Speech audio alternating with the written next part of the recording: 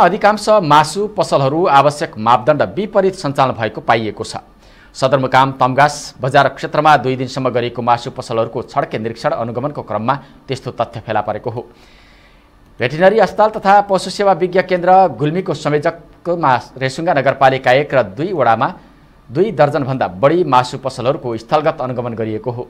अनुगमनको क्रममा अधिकांश मासु पसलहरू स्थानीय तह र सरकारी निकायहरूमा आधिकारिक दर्ता र नियमित नवीकरण नभएको भेटिएको छ।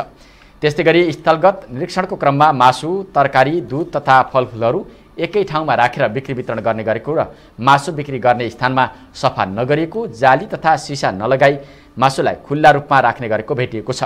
तेइसवटा सूचकाङ्कहरूलाई आधार मानि गरिएको निरीक्षणको क्रममा मापदण्ड विपरीत खोलिएका मासु पसलहरूलाई पहिलो पटकलाई सुधार गर्नका लागि तत्कालै निर्देशन दिएको भेटेनरी अस्पताल तथा पशु सेवा विज्ञ केन्द्र गुल्मीका प्रमुख एवं अनुगमन समिति संयोजक डाक्टर भरत काफ्लेले जानकारी दिनुभयो। मासु पसल सुधारका लागि आवश्यक मापदण्ड कायम गर्नका लागि मासु पसलहरूको निरीक्षण अनुगमनको क्रममा संलग्नलाई प्रतिवेदनका सुझावहरूलाई कार्यान्वयन गर्न सम्बन्धित निकायले आग्रह गर्ने कार्यालय प्रमुख काफ्लेको भनाइ छ।